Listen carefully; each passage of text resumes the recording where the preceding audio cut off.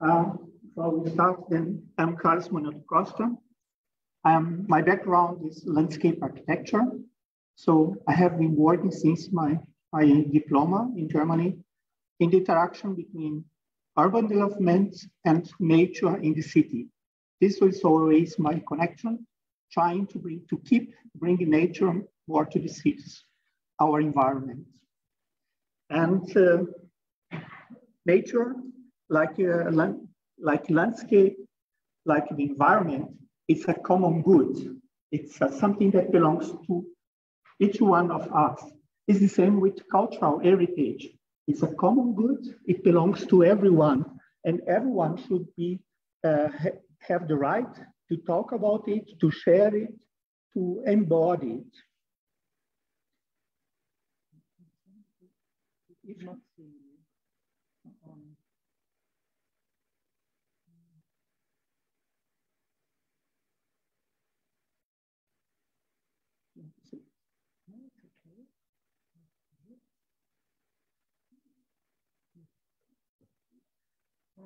If not, We can see that.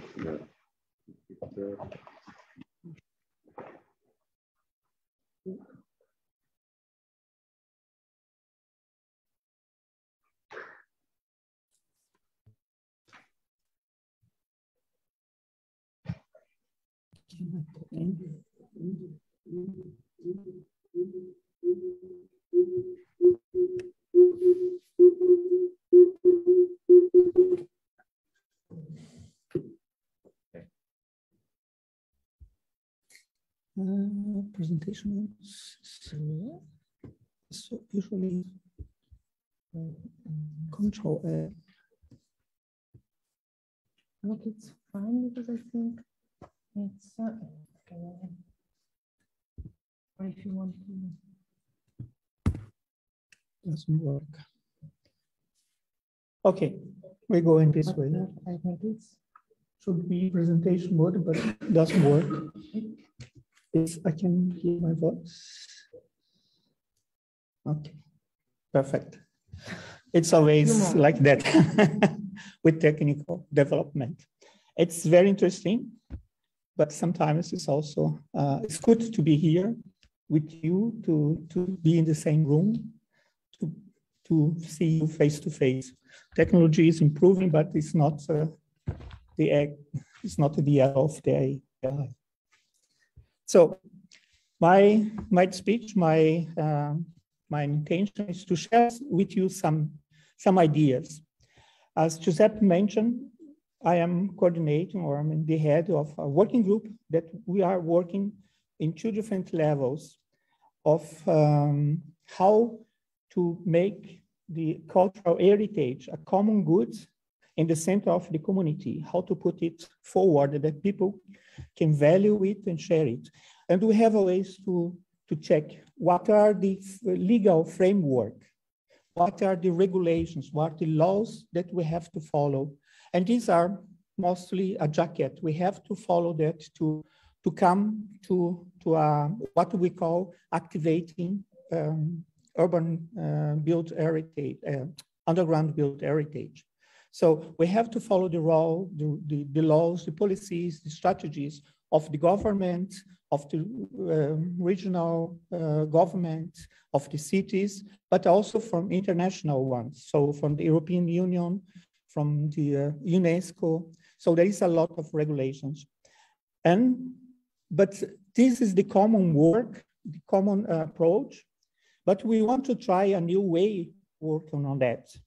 It is what we call this informal uh, planning policies or informal planning methods. We want to go a different way. We don't want to go forward to having a plan that is able to be approved, but a, a long way. It's not usually longer than the other one because here we can talk to people and uh, check how people will understand what we are planning. So it's not, it doesn't take longer. It's just a different way.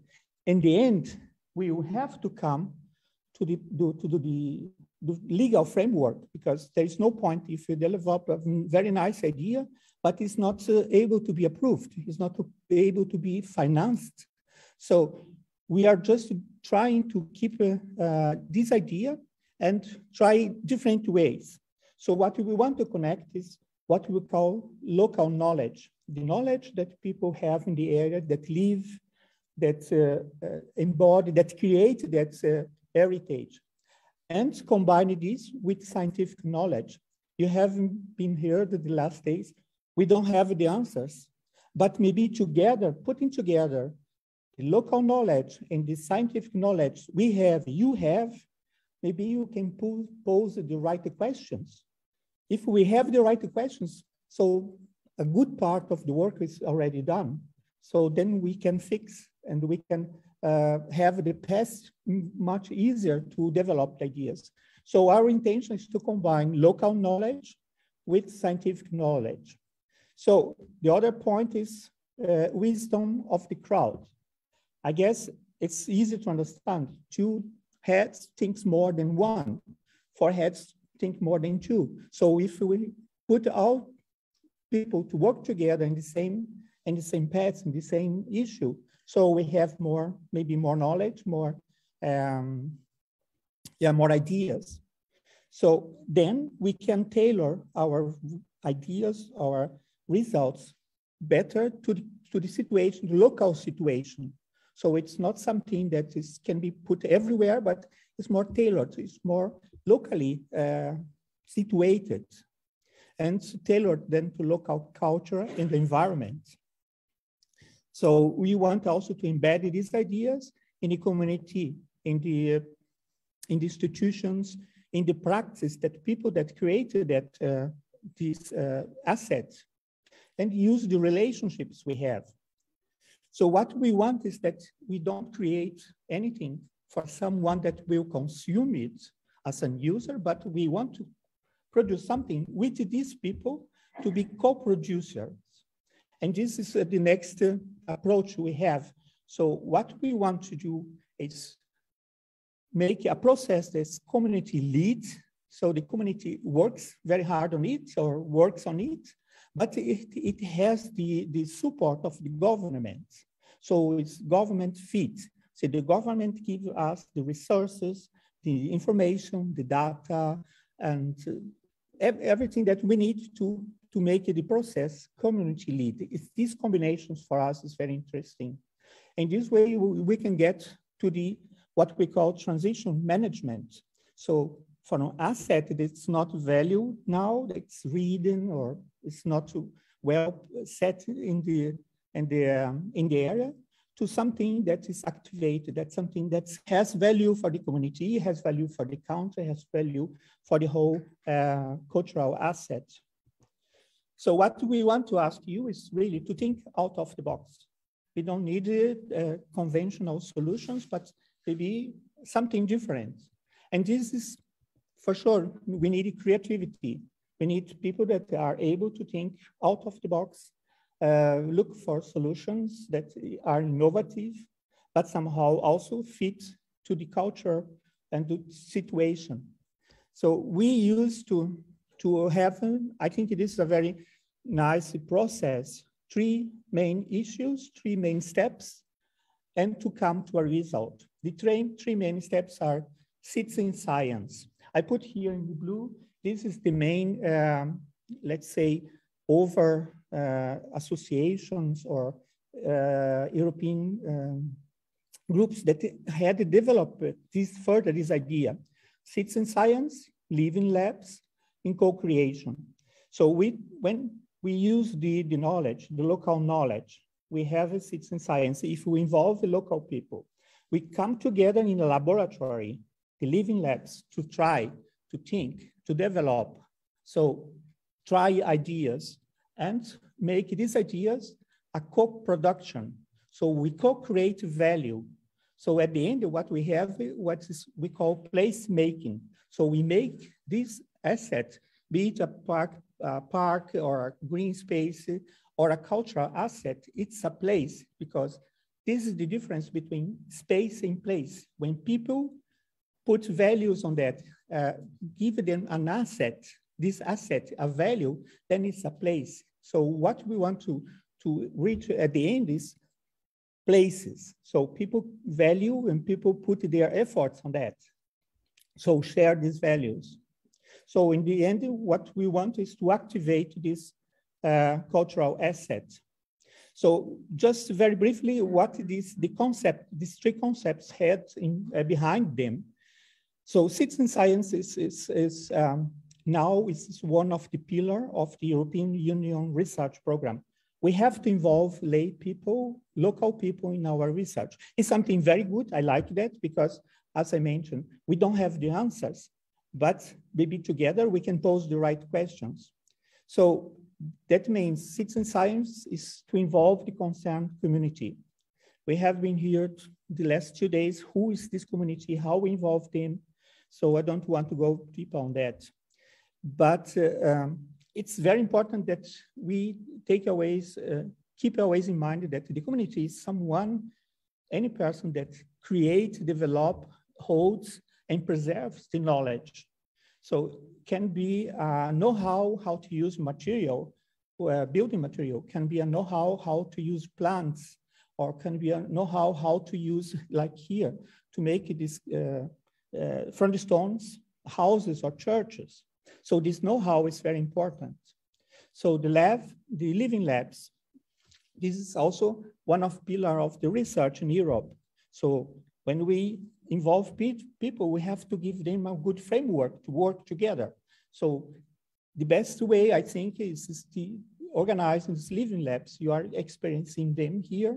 We give information, we give some inputs, but in the end, we come together and work, experiment some solutions. And this, I think, is also very important that we start a process of thinking about the, the, common goods, about the value of the cultural heritage, about the landscape, about the environment. And this builds uh, the, the knowledge as well and uh, give people more competencies and skills. Co-creation is, again, is um, um, an approach that made from business a jump into planning. So it's also everywhere. It's um, a jargon, but if when we give this uh, uh, good impact, uh, good, um, when we give this uh, really a chance to work, it's a, a, good process because people can co-create the, the results or the environment or the ideas. So what we need here is a collective um, creativity put think, people to think together. so this, this both sides has some, for sure, some um, uh, requirements. So if we look from, from the political side, from the framework, so someone in the, the government, be it the city, the regional government, the ministry, someone has to accept that the other groups are thinking about the, the problem about the asset or about the environment.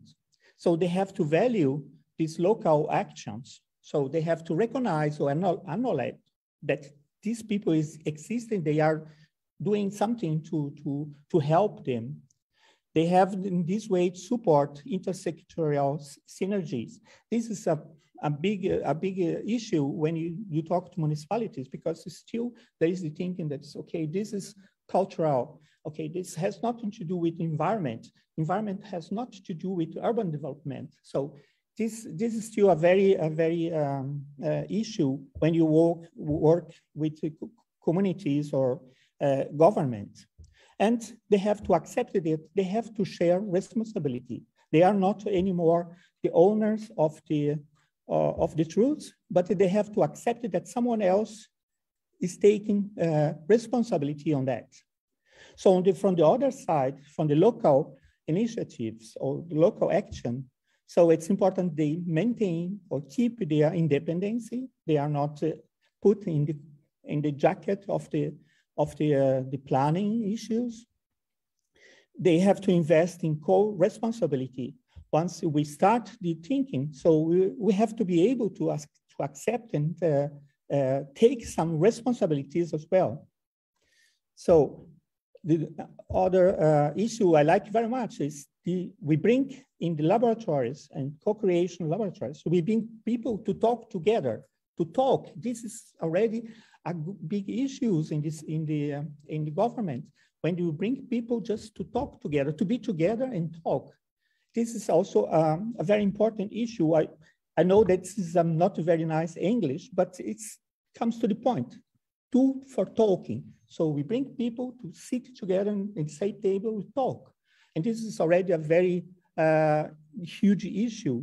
And then they have to be able to mobilize the community, not to, to be able to uh, enlarge the community, to involve more people, different people, different with different interests.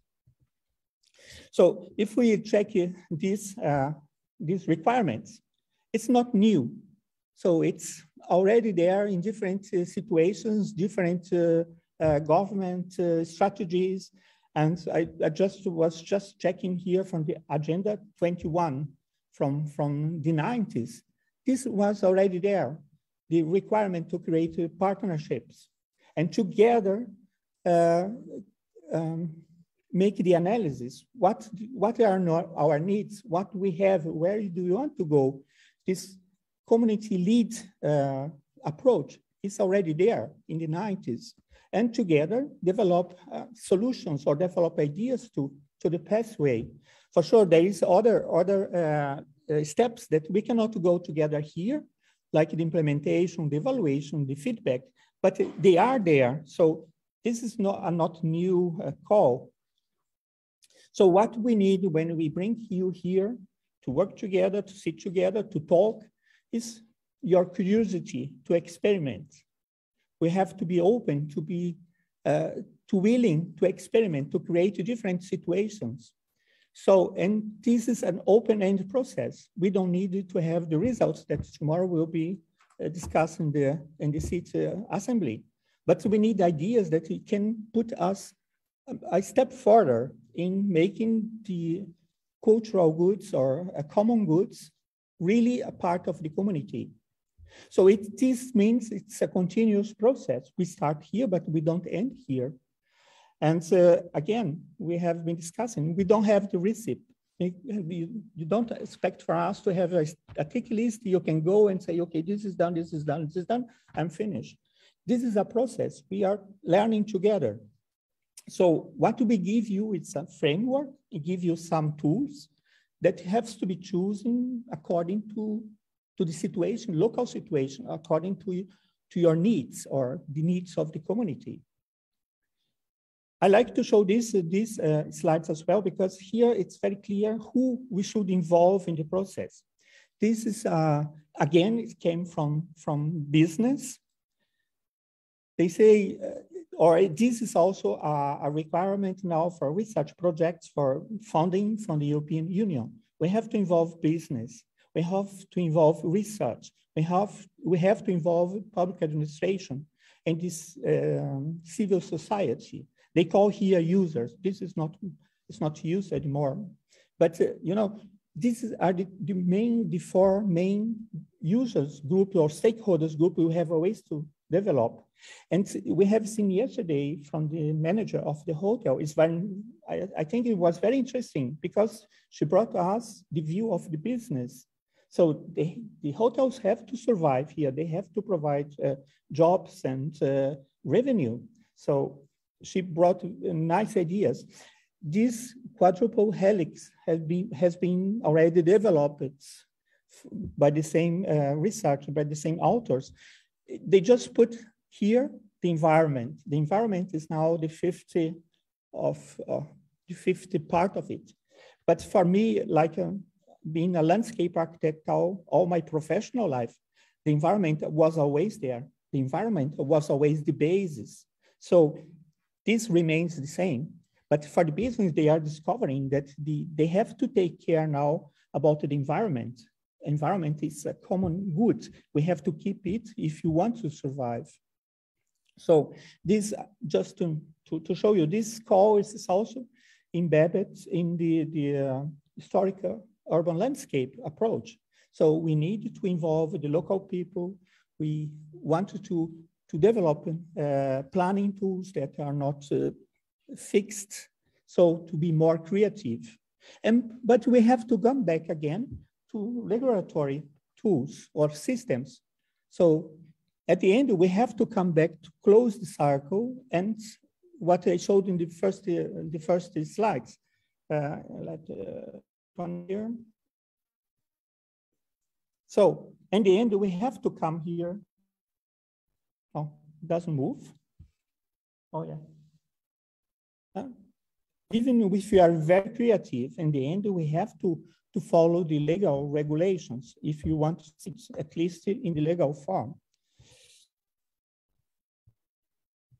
Uh, so the question is always who to involve, how to involve these people, what their values, how you can offer them. But I guess once you start the program and we as good planners, we will get this, this sensitivity to involve people to, I think one of the big uh, um, requirements we have is to be able to hear to listen to people and transform this information we get in something that everyone can make use of. And it's always very important to keep people working for you, working in the group. How you can manage that people keep interested in the, in the process, in participating. Because the way people participate and how who participated changes also the results. So if you do the same, the same idea with different people, will for sure you get a different results. So the, the lab modified the results, but the people that participate in the lab also modified the, the, the, uh, the results. So what we want to have is some someone that's taking part in this transition, uh, taking this transition. So you don't go alone, but with the community. And we having been heard about uh, tools that uh, uh, Lola, I think in the first day presented to the uh, stakeholders mapping. This is a good tool to, to try to recognize, to understand what is the needs of people first, and then how we can involve them in the, the solution. And one thing this is always uh, very important. I don't think people have to be trained to participate. We, as planner, need to be sensitive enough to listen to people because uh, once they are trained, as they say, they will say will say mostly the same thing they the others. So we don't have, want to have always the same opinion. So for me, it's very much more important to, to bring people in. We try to listen to them and not to train them to participate because they will get the skill anyway. The more the people participating in uh, labs, the more they, they can they they are able to to talk and to um, uh, share their ideas. Just uh, again, um, this is a list of the 10 principles from the uh, European uh, Association for uh, Citizen Science. I don't want to go them there, but the sixth one is very important for us. It says that it's just uh, living labs, co-creation. Citizen science is just another tool it's not um, how do you call that a wonder portion. It's not it's not something wonderful that will solve all problems. It's just a tool. So it has limitations, it has problems, but it has something positive. For this reason, we are using them. We don't go for uh, this is the this is the solution. This is uh, is not what we want. So we have to recognize also the limitations of these tools. So for us, it's very interesting that uh, two points. We inspire people to participate. That we call progressive uh, placemaking, that people are able to participate and share their knowledge and their ideas. And then for us as planners, as uh, research, is very important that we take some lessons from this process and we can inform policy making so that we can push for policy changes. If you want to close this cycle again, so the legal framework, we have to provide evidences for, for policy making that it's needed to change something in the legal framework. And this is the, the best way. We bring uh, evidence from this research and inform policy, uh, policy makers. So this is, we close again this, this cycle. So uh, two examples where we try to do this, to bring knowledge, local knowledge, um, and to see how, how it works in the acknowledging, people acknowledging or valuing the uh, underground heritage. One paper I was involved is about reusing salt mines in Romania, Portugal, and Poland. There are three different countries. The mines are, we analyze in each country one mine, a salt mine, uh, mountain salt. And uh, they have a different, uh, um, they are in different stages of use. In Romania, it's already 10 decades, uh, a decade that is stopped the production. In Poland, it's still in production, but it's already changing. In Portugal, it's on production. They are, the mines are changed now to involve people, letting people know what is the, the salt production.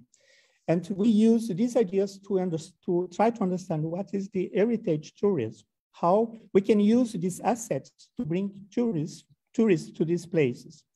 And uh, one of the, the, the I, I, guess one of the main uh, knowledge in that is that branding the city with salt means is something positive because it brings tourists and uh, change the, the changes also the image of the region. This was very easy to be seen in Poland. In Poland, there is huge cities that live only from salt, from mines.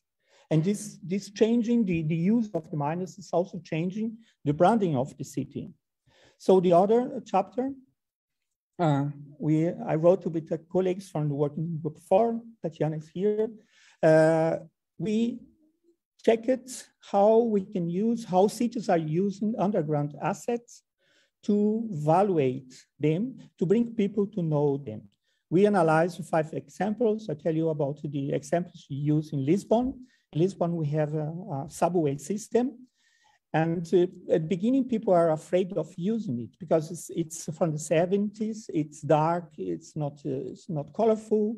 So, but in Portugal, we have also the, the, um, the uh, details, you know, these uh, small pieces of, it's very known, it's a knowledge of the country. So the municipality or the owner of the, the subway station started to invite uh, artists and produce tales, and they made histories on that. So what the idea was how to bring, to make this underground heritage that's dark, it's, uh, it's not very inviting, more familiar to people. So tales is the best way for that because we see tales in everywhere in Lisbon, everywhere in Portugal. So in the way how the municipalities also communicated this process was analyzed. So uh, it's very interesting to see that uh, dialogues is very important, for sure. So how the municipalities communicate to that. And there are good examples and bad examples in the cases. Lisbon was not the best example because the municipality, municipality just produced details, put the details in the in the in the subways and uh, did inform people. So people mostly didn't know about the, the idea. So communicating is also a very important process. So we have to do something good, but we have also to communicate to people, inform people that we're doing that. So for this reason, I think in the whole process, there are three main actors, uh, three main drivers. First, people, people, the community, people that live that, that created this asset, that uh, share these assets. Second one, I call that planners, people that are able to create good ideas, create innovative ideas, people that uh, are able to communicate this, these ideas one side. So good, create good solutions. In the other, we need also politicians that take these ideas into the agenda, the political agenda, into the budgets of the city that we can make transformation. So in this process, three drivers are very important. So people that for them we do any work, good planners that create something new, innovative, and also locally uh, situated, innovative with good solutions, and decision makers that take these ideas, up to the um, political agenda. So with this, here are the references used, and with this, I'm come to the end. Thank you for your attention. I'm happy to answer any question.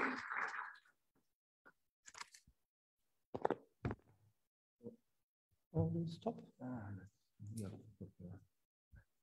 Oh. Ah. Okay.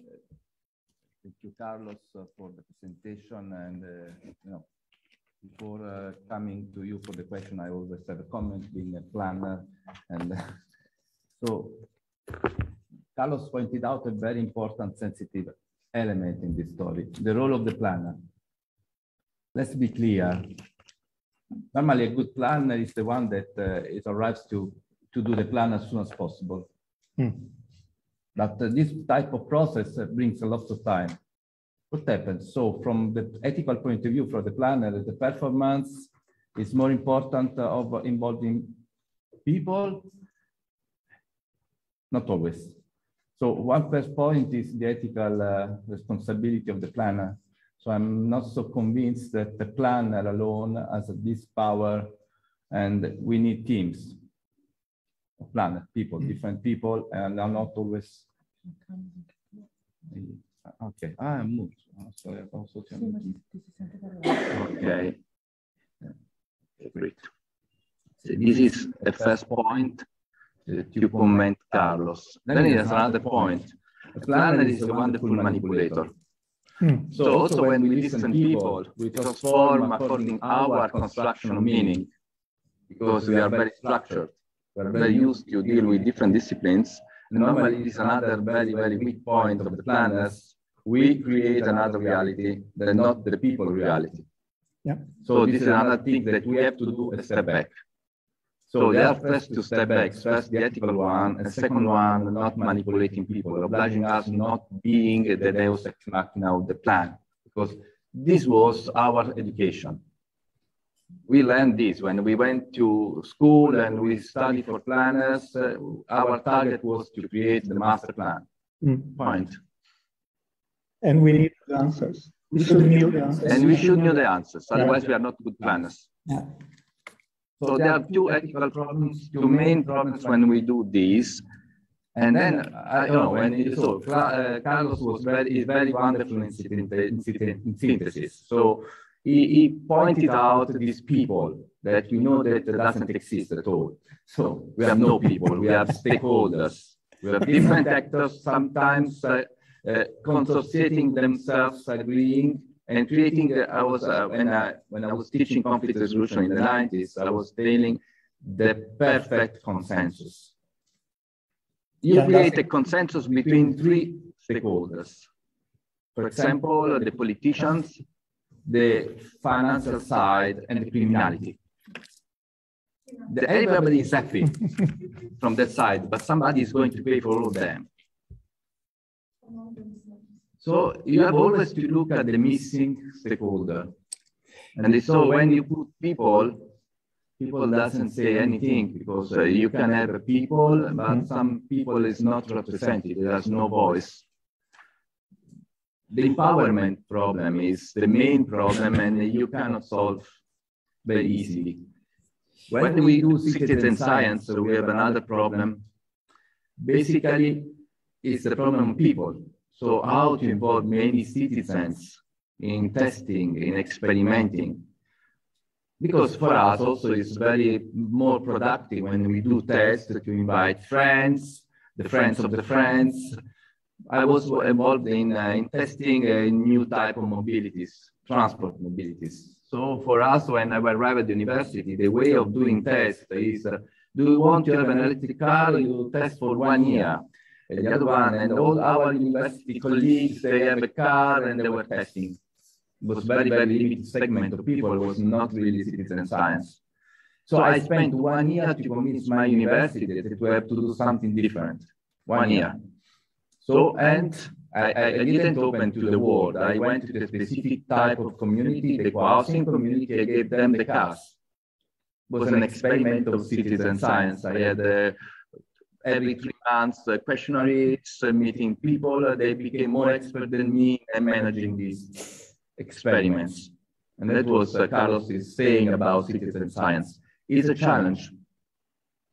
Normally, the regime, when we, you remember my figure, we have this kind of, uh, let's say, circle in the middle between the niche and environment. The regime tries to be conservative, tries to block any kind of innovation. The work that you have to do, you have to skip the regime also, and then we go back to Carlos in the planning approach. We have statutory planning, and we are never go against the statutory planning because it's the basis. Yeah. But statutory planning doesn't say anything, and today doesn't provide money. Mm. Because the big game today is they do plans, but they have no budget for the plans. Every municipality, every place has this kind of crisis. And we work for crisis. When we do transitions, is, I told you sometimes also in the previous meetings, is because you have a crisis. Without crisis, everything goes well. Nobody is going to change the system. Nobody is going to change the environment. You have to find the crisis. If you find the crisis and they need a solution, you provide a solution. And so you create a possibility to have a niche where you can experiment solutions. And when you have a plan, normally, you know, for many years in Italy, for example, we work on strategic plans, voluntary, non-statutory, because it was a way to overcome the, uh, the length of the planning process. We do some uh, five years uh, strategic plans and we proceed. But then each of the action prepared in the plan, they need, in the strategic plan, they need to be formalized, legitimized by some planning tool. So, or you go with the progress. And then it games, you, so yeah, I was uh, yesterday with you in the bus and we saw what happened in, uh, in Cyprus because uh, they do a road, they built a road, and then uh, strangely, uh, agricultural land became residential land without mm. any kind of real planning. Only because we have a bylaw saying that you don't need to build more than, you cannot build more than three floors. And then you do the residence without any regulation. So what is very important when we do this is that we need to legitimate correct decision making. We, make, we, we work for the transparency of the process. Mm. So we need to search for the ones that, in this case, they are losing something, and we have to involve them. It's a sort of, uh, we can say, active citizenship. I would like to say that we are not doing the planners in this case, but we are stimulating, facilitating the citizenship. And then we are trying to collect because we, we know how to manipulate different kind of disciplines.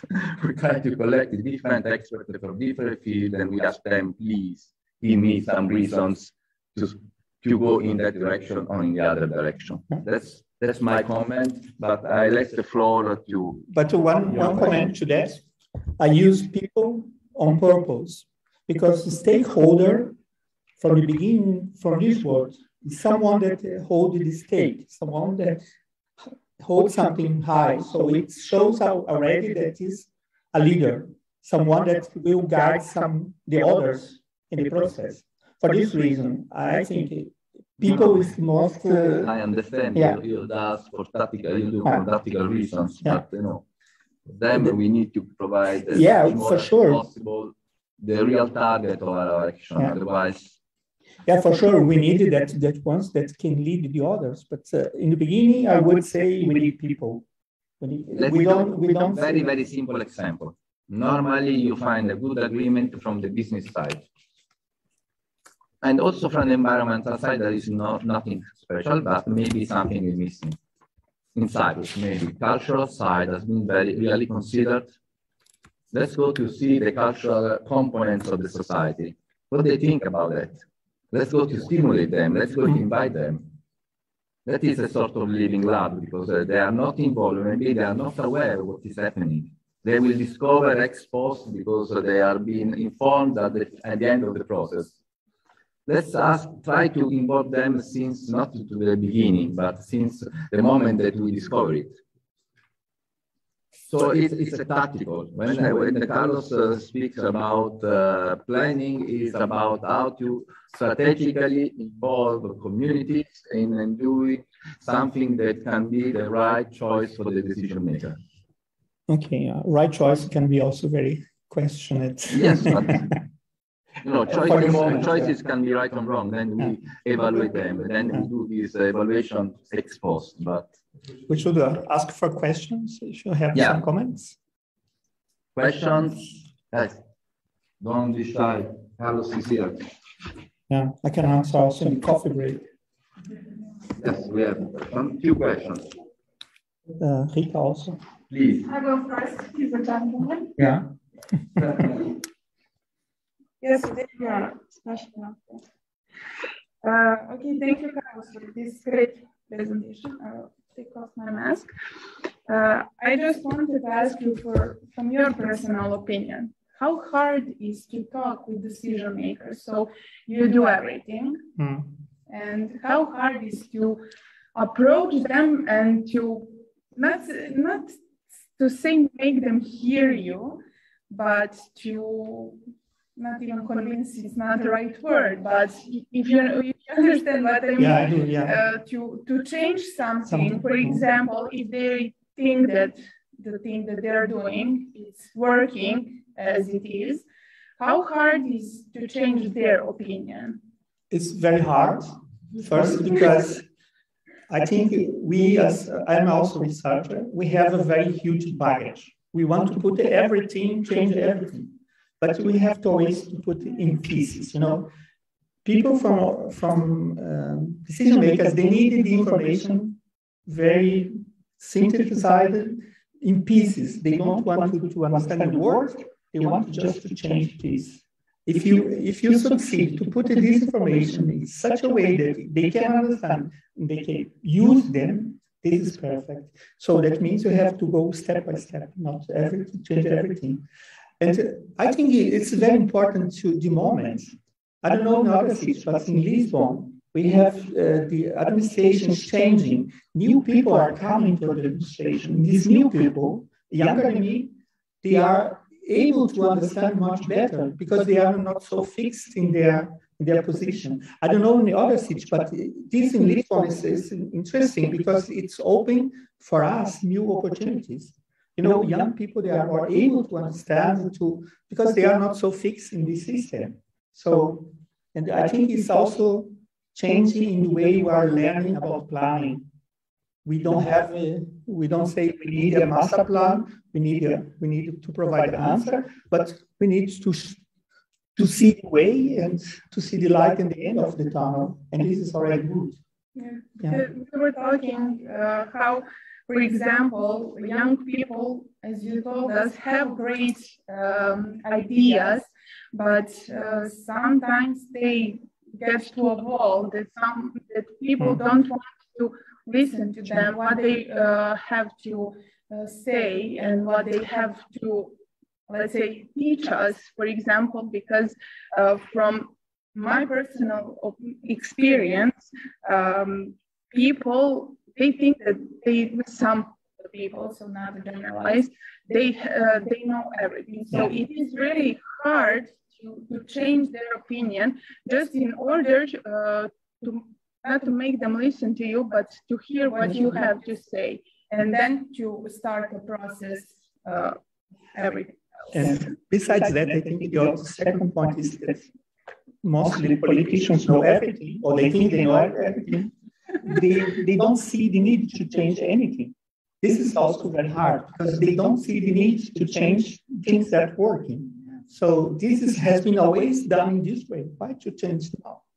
Yes. Yeah, this is hard, but uh, I think at the moment it's good because people are more aware about the environment, about cultural heritage than ever. If you see the results of the in Germany, the elections, the Green Party won it. And our young people that are involved now. I think it is a good situation. I came from a country that is the opposite from Brazil.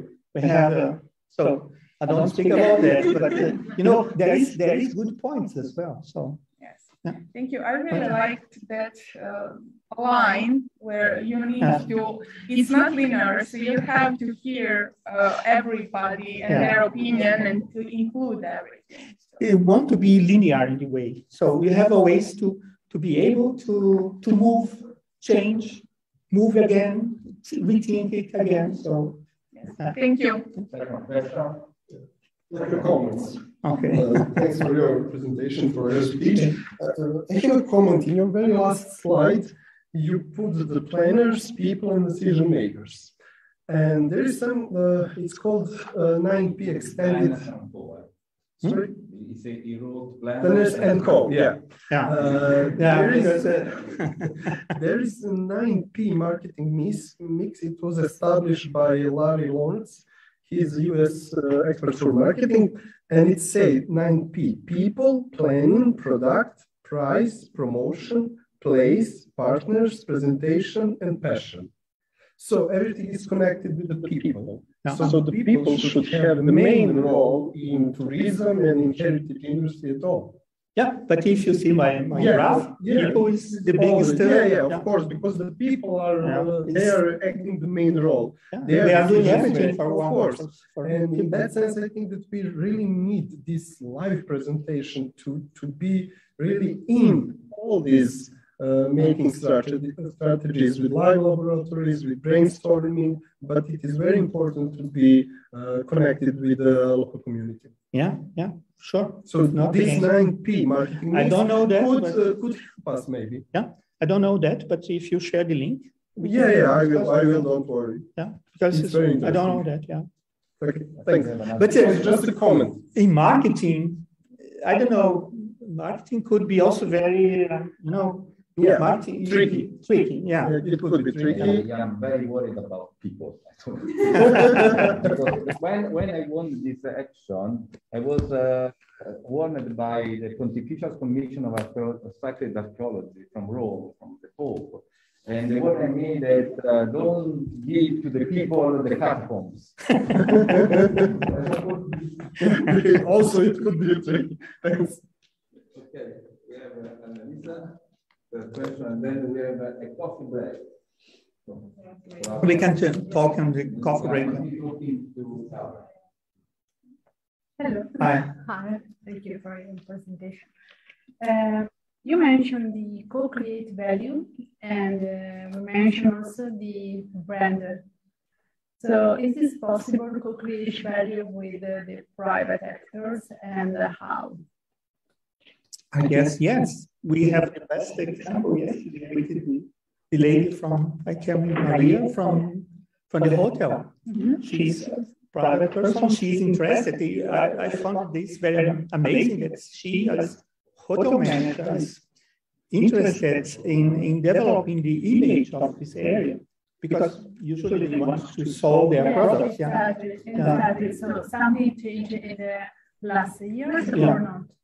I guess, yes, it's what I'm, I'm telling, saying. Uh, the moment is great because people are more aware about the cultural heritage. For sure, it has to do how we are, how we are using the environment, how we are using the cultural heritage last year to the extreme. So we had uh, the problem with uh, reuse or overuse of cultural heritage and overuse the environment. So people get more aware of that. And I guess in this area would be interesting to have more people from the hotels here to, to see if it is a general idea of the creating this, uh, recreating this image or branding this area with another image in this uh, uh, summer holidays. I asked. For, uh, for the Association of Hotels yesterday, and if their strategy, a vision, their vision, because normally there are conflicts between, between hotels, uh, different brands, there are the big hotels, the small ones, for example, there are different strategies. The small hotel has maybe more quality strategy because it doesn't need to have so many Hmm. uh, customers, but the big one has to attract and, and it deals with the, the large, uh, let's say, touristic operator, so international one. And again, when we say um, enterprise business, it's not like people. It's every everyone has shared the same idea. Mm-hmm. So we have to, to work with different ideas as well, different interests.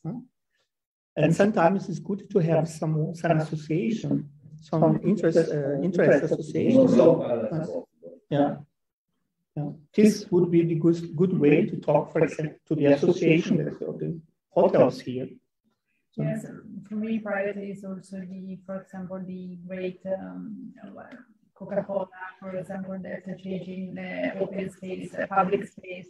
Yeah. But what is the perception of the people that are involved in this uh, in the formal planning when uh, Coca-Cola comes and change uh, the open space? Then it depends on the identity of, uh, the community. Yeah and how they accept that, no? because it's commercialization. Yes. Uh, use. Yes. So about Coca-Cola, there is a clear example. Uh, we were changing the, the small ferries in electric ferries and we need a budget. And the municipality of Venice didn't uh, have this big budget of changing the, the engine, for being sustainable. And we were from uh, from Berlin. We didn't care about you know this identity, and uh, we we had, we got a sponsorship from Coca-Cola. Yeah. And the mayor of uh, all the community of Venice say no to Coca-Cola. We don't want to see Coca-Cola on our vessels. But the other point is, is good that some companies, they put money where the environment is okay or the, the cultural heritage is, is intact, you know, okay. it's not in danger. So they associate their image with environment, with green environment, with social culture. So if we have someone in this way, would be perfect. Thank you. Okay, thank you all.